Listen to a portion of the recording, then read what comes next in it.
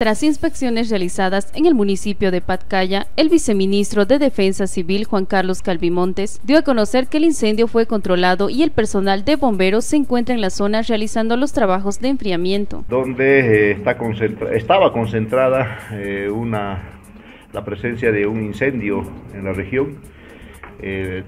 todo el día de ayer y parte de la noche, nuestros equipos de bomberos han estado trabajando en la zona y luego de la inspección podemos informar al pueblo tarijeño que el incendio ha sido controlado.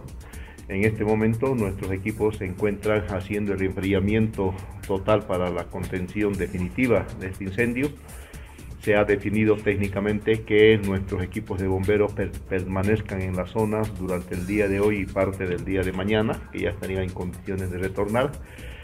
pero lo, más importante es que este incendio, al igual que el incendio que se ha generado en San Lorenzo, han sido ya completamente controlados y ahora estamos en la etapa de enfriamiento. Sin embargo, manifestó que en el lugar del siniestro se encuentran 60 bomberos forestales de la Fuerza Aérea Boliviana y 30 comunarios quienes colaboran en los trabajos de enfriamiento que se realizan en la zona. En este momento se encuentran en la zona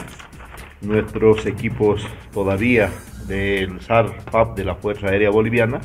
en una cantidad de 60 bomberos forestales,